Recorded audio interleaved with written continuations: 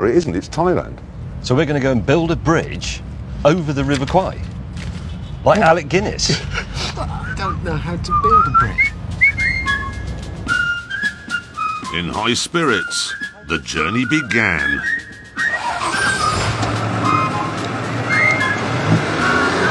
We are off.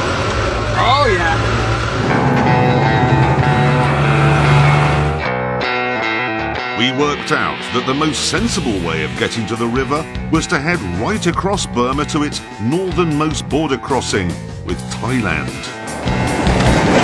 On this epic 1200 mile journey, we would find strange new cities with no one in them. Cross mountain ranges straight out of Jurassic Park, ford disease filled rivers, and attend a party which made the scene at the end of Apocalypse Now look like a quiet night in. And we'd have to do it all in lorries which, right at the start, weren't really working properly. For our gauges, nothing works. Nothing at all. Not one of them. Not fuel gauge, oil, oil pressure, charge, vacuum, temperature. Nothing works.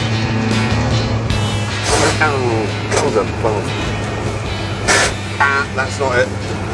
There's no synchromesh on this gearbox, so when you go from third to second or whatever, you have to, oh, bloody or a double declutch. Like that. Only smoother. Oh, I can't get I can't get Oh! Oh God. How fast am I going? And the speedo doesn't work. Oh my giddy aunt, the ride is shocking. Hard. Possibly a bit of play in the steering. Let me talk you through my brakes. Um, they don't really work. I've got three centimetres of pedal travel where nothing happens, and then a millimetre where all happens and the wheels lock up. There's no handbrake, and I'm not being stupid. I've looked everywhere. There isn't a one, there isn't a hand one, there isn't a switch. And on top of the mechanical problems, we had to deal with Rangoon's pedestrians. Stop wandering about in the road! Whoa, a granddad's just walked by the child right underneath your lorry. Whoa, somebody else just did it. Pedestrians have no concept of traffic. None at all.